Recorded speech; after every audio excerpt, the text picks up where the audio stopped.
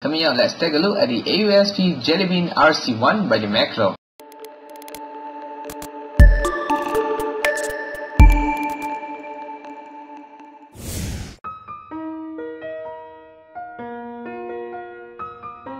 Hey guys, this is Aaron and today I'm going to be doing a round review of the Maclaw's AOSP Jellybean RC1, the Android 4.2.2 Jellybean on the Galaxy Ace GT S5830.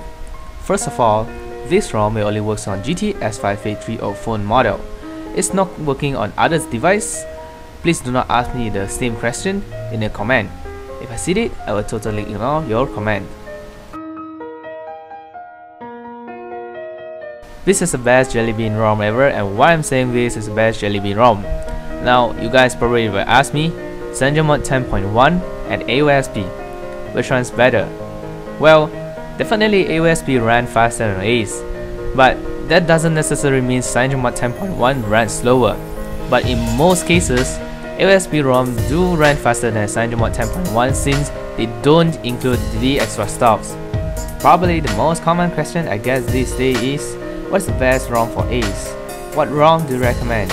Now, I would definitely say the AOSP. Now, probably you guys will ask me, what is AOSP? Well, AOSP stands for Android Open Source Project, so basically, AOSP refers to Google's Android operating system, same thing you found in the Nexus 4. AOSP ROM may be better than non-AOSP ROMs such as the CyanogenMod. However, CyanogenMod based on AOSP 2. It offers features and options that not found in the official firmware. But that all depends on your preferences. Personally, I'm still rocking my Ace with AOSP. There's always advantages to run AOSP or non-AOSP and it just depends on the situation. My advice, try both AOSP and CyanogenMod for a week and decide it yourself.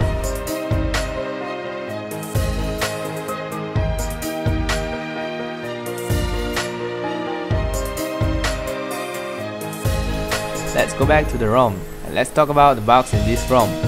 The camera app still not working perfectly it offers false close when you take a picture.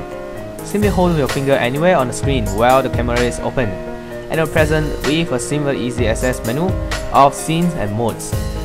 No photosphere working on it, you know, this is an ARM V6 processor. Camcorder works very smooth, but it will only record in 320 by 240 pixels.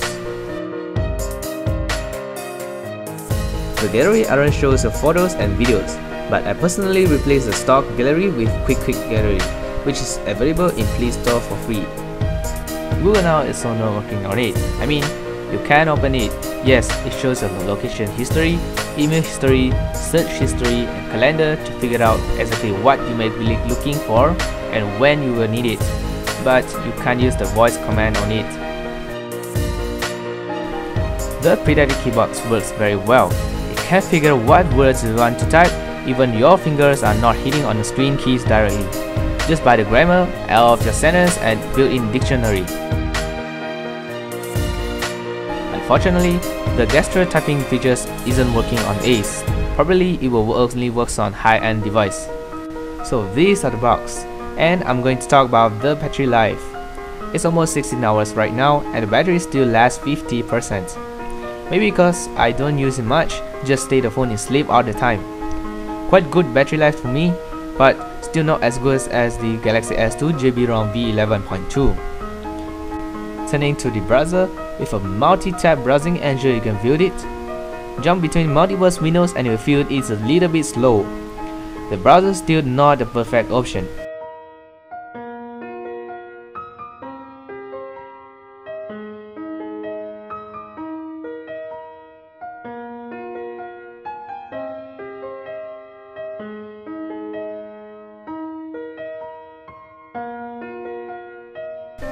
If you notice the small overlay widgets on top of my status bar, it's a memory management to boost up your Galaxy Ace. Not just Galaxy Ace, you can install on whatever Android devices.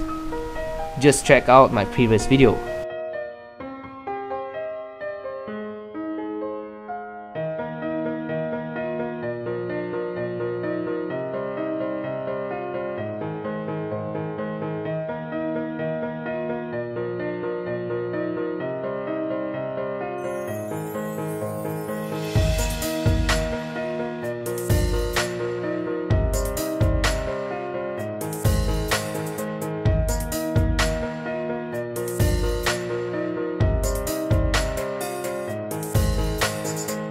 Let me show you how to make your phone feel faster. It's an animation when you open up the certain menus like we are going to settings, that's an animation. You can actually speed it up. And the way that you do it is enable the developers option for the first time. Go into settings, about phone, and tap the build number for 7 times.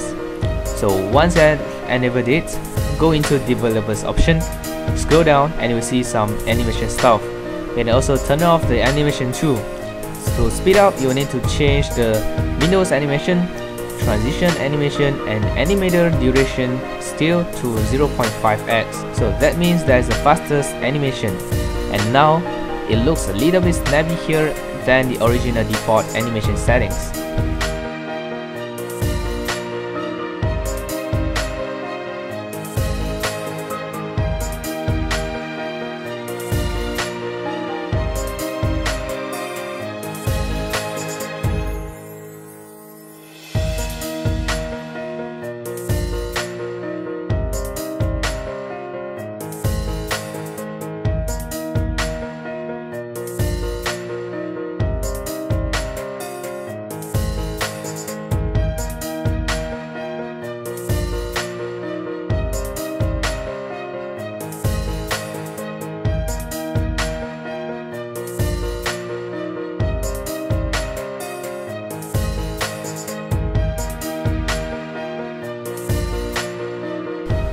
Alright, that's pretty much my ROM review of the AOSP Jelly Bean RC1 by Maclaw.